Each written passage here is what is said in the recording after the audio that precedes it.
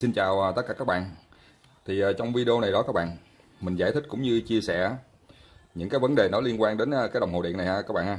Thì cũng có một số anh em nhắn tin qua Facebook cũng hỏi mình đó là tại sao khi thay đồng hồ điện đó thì cái tiền điện nó sẽ tăng và tại sao khi không thay đồng hồ điện đó thì sẽ bị cắt điện và có một số anh em cũng hỏi mình đó là những cái cách mà mình lấy điện ở trong cái đồng hồ này thì hôm nay mình sẽ chia sẻ tất tần tật cho các bạn biết luôn ha thì cái đồng hồ này đó các bạn là cái đồng hồ cơ. Thì theo quy trình của ngành điện đó các bạn đối với những cái hộ thắp sáng mà xài một pha đó là 5 năm thay một lần. Lý do tại sao các bạn? Cái đồng hồ cơ này á là bên trong á là nó có những cái nhông truyền và nó sẽ có dầu mỡ trong này. Và cái đồng hồ á, khi mà mình sử dụng một thời gian lâu á thì dầu mỡ á, nó sẽ khô đi các bạn. Thì cái cái độ chính xác của nó đó nó sẽ không còn cái độ chính xác nữa ha. Thì khi thay cái đồng hồ mới á nó sẽ nó sẽ chạy nhanh hơn. Nhưng trên thực tế đó các bạn nó không phải là là nó nhanh hơn. Dĩ nhiên trong cái đồng hồ này á nó sẽ có sai số của nó. Nó sẽ là cộng trừ 2% thì khi điện lực thay mới như vậy đó các bạn thì những cái đồng hồ cũ á, người ta đem về người ta kiểm định lại và người ta vô dầu mỡ lại để cho nó trơn tru. Đó trên thực tế thì là là nó đúng chứ nó không sai đâu à, các bạn ha. Ở trên cái đồng hồ cơ này đó là nó có một cái đĩa quay. Và khi có cái dòng điện đủ lớn đó các bạn thì cái đĩa này nó sẽ quay nhưng tuy nhiên đó các bạn có một số những cái thiết bị ví dụ như là những cái bóng đèn trái ớt những cái bóng đèn trên bàn thờ đó mà cái công suất nhỏ đó các bạn khi tối mà mình tắt đèn hết mình đi ngủ á mình chỉ thắp những cái đèn đó đó thì sẽ có một cái dòng điện rất là nhỏ. Thì cái dòng điện này á nó sẽ không đủ sức để nó đẩy nó làm quay cái đĩa nhôm này các bạn ha. Thành ra là khi mà thay cái đồng hồ điện tử đó các bạn thì cái đồng hồ điện tử này á nó sẽ đếm hết. Thì ở trên cái đồng hồ điện tử này đó các bạn đó các bạn nhìn thấy cái bóng đèn à, led mà nó chớp ở bên trên á, cái bóng bên trên á, là cái này nó đếm điện các bạn. Thì khi mà mình xài càng nhiều á, thì cái bóng này á, nó sẽ chớp càng nhanh. Thành ra trong cái trường hợp đó các bạn, khi mà mình thay cái đồng hồ điện tử này á, thì nó sẽ đếm hết. Thành ra khi mà mình đang sử dụng cái đồng hồ ờ, cơ này đó các bạn, đổi qua cái đồng hồ điện tử đó thì là cái tiền điện mình nó lên là chắc chắn các bạn ha. Cái này là điều hiển nhiên thôi. Thật ra nó nó không có sai đâu ờ, các bạn rồi kế tiếp á, là cái vấn đề thứ hai các bạn. Thì cái đồng hồ này á, lắp cho hộ gia đình đó thì 5 năm ngành điện á, sẽ thay thay mới. Thì khi mà người ta đến nhà mình để thay á, mà mình vắng nhà liên tục đó các bạn thì buộc lòng người ta phải cắt điện cái đồng hồ này. Lý do là như vậy à, các bạn. Theo quy định của bộ công thương à, cái này các bạn nhớ nha. Theo quy định của bộ công thương nếu những đồng hồ nào gắn cho khách hàng trên 5 năm mà không được không được thay mới thì trong quá trình sử dụng á, cái đồng hồ này nó gây cháy á, gây hỏa hoạn á, thì cái này ngành điện á, phải chịu. Thành ra trong những trường hợp này đó các bạn để ý ha nếu người ta mà gửi cái giấy cho mình đó để thay đồng hồ á thì các bạn phải cho người ở nhà hoặc là mình hẹn ở bên ngành điện á một cái ngày thuận tiện để cho bên điện lực họ thay cái đồng hồ mới. Còn không á khi mà mình đi làm về đó các bạn đến định kỳ mà người ta không thay được á buộc lòng người ta phải cắt điện. Và kế tiếp đó các bạn thì nó cũng có một số cái vấn đề ờ, cũng liên quan đến ờ, vấn đề tiền điện ha. Thì lúc mà mình còn đi làm á thì tiếp xúc rất rất là nhiều khách hàng các bạn. Thì ờ, người ta mới thắc mắc là tại làm sao á trang thiết bị ở trong nhà sử dụng vẫn bình thường nhưng tại sao á là cái tiền điện nó tăng lên rất nhiều các bạn. Hầu như là nó tăng lên gần gần một nửa luôn. Thì trường hợp này các bạn phải để ý á, nó sẽ rơi vô cái mùa nắng nóng đó các bạn. Mình nói ví dụ nha ở cái máy lạnh này nè. Ví dụ như cái nhiệt độ phòng á là nó là 28 độ C. Mình nói ví dụ vậy, thì khi mình mình cài đặt cho nó 25 độ C đó, thì nó chạy, ví dụ như là mất nửa tiếng đó, mất nửa tiếng, thì cái nhiệt độ của phòng mình á, thì nó sẽ đạt 25 độ C.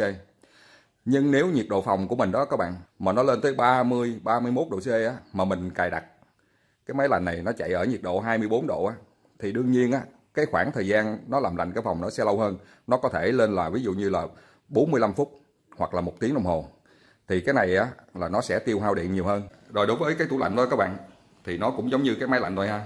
Đối với những cái đèn, cái quạt đó các bạn, khi mà nhiệt độ nó tăng lên á, thì cái quạt nó làm việc nó cũng sẽ nóng hơn. Và chính cái điều này đó, nó sẽ gây gây hao điện hơn. Nhưng mà mình không biết đó các bạn, thì mình cứ bảo là do cái đồng hồ chạy sai, nhưng trên thực tế thì nó không không có sai ha. Lý do là do cái nhiệt độ môi trường nó ảnh hưởng đến cái công suất làm việc, thành ra nó sẽ hao điện hơn và cái đến đó các bạn là cái này nè nhiều người rất là quan tâm này nè các bạn. Thì rất nhiều người á muốn thắc mắc á là mình lấy điện ở trong cái đồng hồ này nó bằng cách nào? Nhưng trước khi mà đi vô phân tích á, mình sẽ nói sơ về những cái cách mà người ta phát hiện ờ, các bạn ha. Thì đầu tiên đó khi mà mình sử dụng đó các bạn xài bao nhiêu thì mình trả bấy nhiêu. Chứ còn cái điện á, mà mình xài á, mà mình để bắt người khác gánh á, thì cái điều đó không nên. Nó làm cho mình không có yên tâm đâu các bạn cái này là mình nói thật sự. Và trước sau gì á, nó cũng sẽ lòi ra hết. Cái này đó các bạn là cái ờ, khu trọ của mình ha. Và mình là quản lý trực tiếp ở đây luôn. Thì ờ, mình tính tiền điện tiền nước hàng tháng á mình sẽ theo dõi mình sẽ biết hết ờ, các bạn. Ví dụ như cái phòng này nè. Cái tháng 7 nè là sử dụng là 547 kg và cái tháng 8 này là 456 kg và tháng 9 này là 570 kg đó các bạn thấy là nó nó xem xem xem xem nhau hết ha. Tuy nhiên đó các bạn cái tháng 10 này nó sụt xuống còn 375 kg lý do là cái phòng này bị hư cái máy lạnh, rơi trong ờ, cái mùa dịch đó các bạn. Chưa có kiếm thợ sửa được, thành ra phòng này mới xài cái máy lạnh này được nửa tháng thôi, còn nửa tháng sau họ không có xài. Thành ra cái số kW này đó thì nó sẽ bị giảm xuống. Thì cái này đó các bạn mình chia sẻ về vấn đề xung quanh cuộc sống và chia sẻ về cái kỹ thuật thôi ha. Mình không có suối ai làm bậy hết nha. Bây giờ mình nói những người mà làm nhà trọ đó, thì khi người ta tính tổng cái con số điện này của bao nhiêu phòng đó các bạn? Thì người ta thu vô được bao nhiêu tiền? Và cái tiền điện hàng tháng á, của cái đồng hồ tổng á, thì người ta sẽ trả bao nhiêu? Thì khi người ta so ra người ta sẽ biết hết các bạn. Người ta sẽ biết hết ha. Là sao lục cái chỉ số này ra coi coi phòng nào nói trồi nó sụt như thế nào. Mình nói ví dụ như cái tháng này á 547 kg mà tháng sau 375 kg và cái tháng sau nữa còn có 200 kg nhưng tất cả các thiết bị ở trong phòng vẫn hoạt động bình thường. Thì cái này là một cái dấu hỏi. Và ngành điện tìm tìm ra những con số này rất hay ha. Thì ở những cái trạm biến thế đó các bạn, bên ngành điện sẽ lắp một cái đồng hồ tổng. Mình nói ví dụ nha, ví dụ như là cái trạm điện này nó cung cấp cho 100 nhà. Và cái công suất hàng tháng sau khi trừ tổn hao trên dây dẫn đồ các cái đó các bạn, thì cái đồng hồ này nó sẽ nhảy lên là 200 ngàn ký đi. Mình nói ví dụ vậy ha. Tuy nhiên á những cái tháng sau này, tháng thứ nhất, tháng thứ hai, tháng thứ ba, nó còn có 180 ngàn ký 160 150 thì cái này người ta sẽ khoanh vùng liền các bạn. Thì nó cũng giống như phòng trọ của mình thôi. Mình nói ví dụ nha, hộ à, Nguyễn Văn A ha, ở bên ngành điện, người ta quản lý trên máy tính đó các bạn. Người ta chỉ cần bấm một cái thì nó sao lục chỉ số ra hàng loạt hết. Và lúc đó người ta sẽ sẽ dò ra và người ta sẽ biết. Ví dụ Nguyễn Văn A nè, cái tháng này xài 388 kg nè tháng sau còn có 150 kg và tháng sau nữa là còn có 50 kg thôi. Thì lúc này người ta phải đặt cái dấu hỏi vào đây là lúc này người ta sẽ đến người ta kiểm tra. Và cái cách kiểm tra và cái cách phát hiện để bắt như thế nào á, thì cái này mình không nói nha. Thật ra mình khuyên các bạn đừng bao giờ lấy cái điện này để làm chi. Xài bao nhiêu, trả bấy nhiêu các bạn. Rồi nếu mình xài quá nhiều thì mình tiết kiệm lại thôi, không nên làm những chuyện này. Rồi cái đến đó các bạn, mình chia sẻ về cái vấn đề kỹ thuật nha mình không có suối các bạn. Sau khi xem cái clip này, các bạn biết là các bạn làm bậy đâu nha. Mình mình không khuyến khích chuyện này ha. Ở trên cái đồng hồ cơ này đó các bạn, có rất nhiều cách để mình lấy điện trên này. Khi mà ngành điện đó các bạn, lắp những cái đồng hồ điện như vậy đó mà trên tường đó thì cái đồng hồ này nó sẽ quay. Mình sử dụng điện á, nó có tải thì cái đĩa nhôm này, nó sẽ quay. Và nếu như mình gục ra bên ngoài như vậy, mình nghiêng ra như vậy, mình tháo vít những cái con tắp lô mình nghiêng ra như vậy, thì cái đĩa nhôm này nó sẽ không quay. Thì cái trường hợp này đó các bạn nó cũng là vi phạm sử dụng điện các bạn ha. Vi phạm sử dụng điện. Đó là cái cách thứ nhất. Và cái cách thứ hai đó các bạn, là họ sử dụng những cái 500 màu trắng như vậy nè. Gọi là 500 công nghiệp. Và họ dùng cái loại to đó các bạn, cái cục nó to như vậy nè. Và họ đặt lên trên cái mặt kiến này. Thì ờ, cái 500 này ờ, nó có hai loại, cái loại đen này các bạn. Nó hít ờ, yếu hơn là cái loại trắng này. Cái trắng này nó nó hít rất là mạnh các bạn ha. Thì khi mà người ta đặt cái cục 500 lớn vào đây thì cái lực hút của cái 500 này nè, nó sẽ thắng được cái đĩa nhôm này. Và khi mà mình sử dụng điện á, là cái đĩa nhôm này nó sẽ không có quay. Tuy nhiên đó các bạn, cái đĩa nhôm này á, nó sẽ bị cong. Là cái thứ nhất, nó, thậm chí là nó bị kẹt vô những cái khe này nè, các bạn thấy không? Đó, khi mà nó cong, nó kẹt, là cái đồng hồ nó không quay. Và cái thứ hai nữa đó, các bạn, khi mà cái đồng hồ này nó nó không lên chỉ số hoặc là nó lên ít chỉ số á thì ở bên điện lực á người ta ngồi trên máy người ta biết là cái tổn thất của cái chạm điện nó là bao nhiêu và người ta sẽ dò ra từng nhà thì là nó sẽ ra nhà này.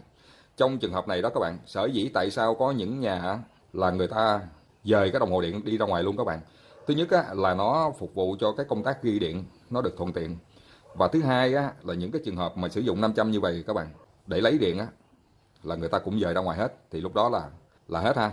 Khi mà ngành điện đó các bạn mà phát hiện được ăn cắp điện đó các bạn thì cái mức phạt và cái mức truy thu của nó, các bạn, cực kỳ lớn ha. Và đóng cái số tiền không thể tưởng tượng được đâu các bạn. Thành ra là xài bao nhiêu trả bấy nhiêu thôi. Lúc trước đó, các bạn, là chỉ truy thu thôi. Ví dụ như trong nhà của mình đó, là điện lực đến sẽ kê khai hết những cái thiết bị nào có trong nhà, xài không xài không cần biết. Nhân lên một giờ và nhân lên cho một năm để ngành điện thu lại cái tiền mà mình sử dụng điện không qua đồng hồ điện là cái thứ nhất.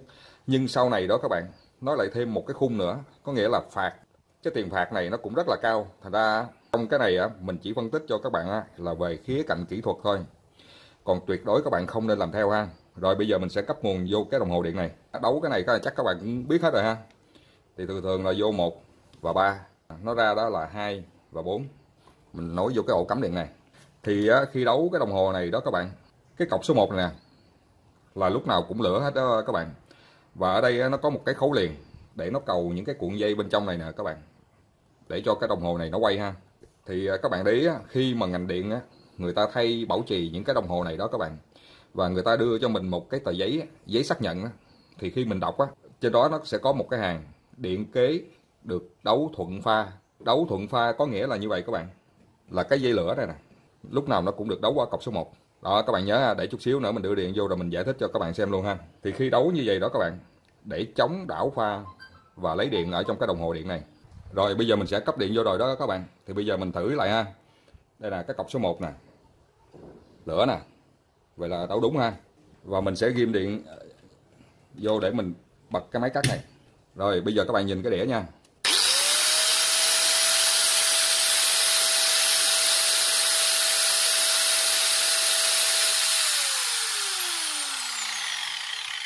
Đó các bạn thấy cái ờ, vạch đen nó mới chạy qua ha. Để bây giờ mình sẽ cho cái vạch đen nó chạy về cái ờ, vị trí bên này.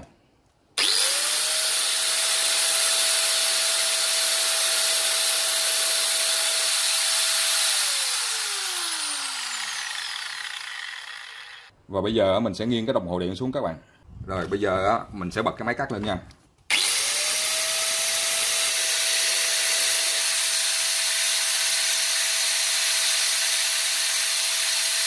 Rồi nó cũng tùy loại đồng hồ thôi các bạn. Thì cái này á khi mà mình úp xuống á là nó vẫn quay nhưng mà theo cảm giác á, thì mình thấy nó hơi chậm một tí xíu ha so với bình thường. Còn có những loại đó các bạn úp xuống là nó nó không có quay được luôn. Bây giờ cái trường hợp kế tiếp á ở hai cái con vít này nè các bạn là cái cầu nối để cầu cái cuộn dòng với lại cái cuộn áp lại để cho cái đĩa nhôm này nó mới quay. Thì bây giờ á bây giờ các bạn nhìn nè ha vẫn có điện ha các bạn ha.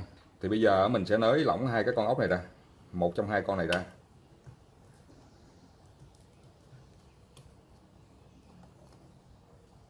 Ở chỗ này đó, các bạn thấy là cái cái ờ, cái vạch nè. Vạch đen nằm ngay đây ha. Và bây giờ mình bật máy cắt lên nè.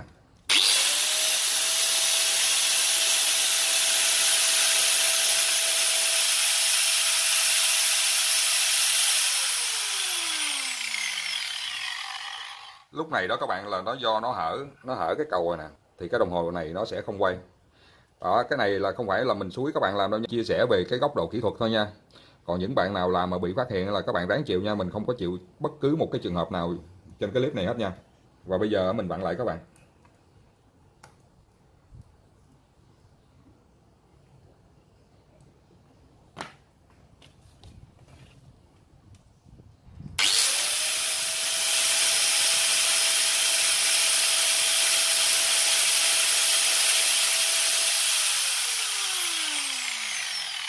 Đó các bạn thấy không? Khi mà mình cầu lại đó, nó kín mặt á, thì thì cái đĩa nhôm này nó sẽ quay. Rồi cái đến đó là tại sao khi mà người ta thay đồng hồ điện đó các bạn, là người ta phải ghi trên cái tờ giấy xác nhận là thuận pha, có nghĩa nó là như vậy. Bây giờ lửa mình cấp vô cọc số 1 ha, là thuận pha. Bây giờ nó nghịch pha là nó như thế này các bạn. Bây giờ mình xoay cổ cắm nè. Lúc này á, là nguội á. Dây đỏ là nguội nè. Nguội sẽ cấp vô cọc số cọc số 1 đó, các bạn thấy không? Và lửa lửa bây giờ nó thành cái dây xanh nè. Nó sẽ cặp vô vô cọc số 3 thì trên cái đồng hồ điện này đó, các bạn, nó sẽ làm như vậy ha. Cọc thứ nhất nè, đi qua những cái cuộn dây và ra cọc số 2 cọc số 3 đó là nó, bên trong này nó sẽ có một cái cầu, nó khấu liền từ cọc số 3 qua cọc số 4 thì người ta mới lợi dụng cái chỗ này nè các bạn. Người ta lợi dụng cái chỗ này. Là chỗ này nó vô nó vô cọc số 3 và nó ra cọc số 4 thì khi mà mình đảo cái lửa qua đây đó, là nó vô đây và nó ra đây. Thì chính vì cái điều này đó, khi mà nó ra cái đầu dây bên dưới này rồi đó, và người ta lấy một cái nguội khác á, người ta xài cho cái thiết bị này, thì cái đồng hồ nó sẽ không quay. Đó. Bây giờ các bạn nhìn kỹ lại ha rồi bây giờ mình sẽ cấp điện vô lại nè. Rồi, mình thử lại nè. Ở đây là nguội nè. Và ở đây là lửa nè. Rồi, bây giờ mình sẽ lấy thằng nguội nè. Bên đầu cắm này là nguội, các bạn thấy không? Bây giờ mình sẽ ghim cái nguội này vô đây. Thì ổ cắm này lúc này nó có lửa có nguội rồi các bạn. Nguội nè lửa nè. Rồi lúc này các bạn xem nè mình bật máy cắt nè.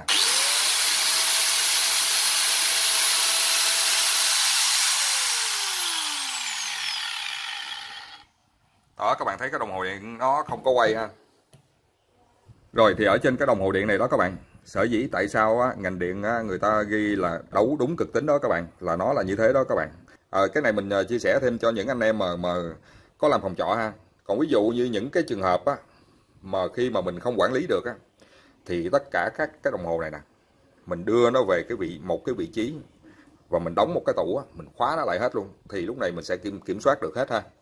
Còn ờ, những cái trường hợp mà mình lắp vô từng phòng từng phòng đó mà nó có hao hụt quá thì thì các bạn cũng biết cách các bạn xem và mình xử lý nó ha. Mình dừng video ờ, tại đây các bạn. Bye bye các bạn. Hẹn gặp lại các bạn trong những video tiếp theo ha.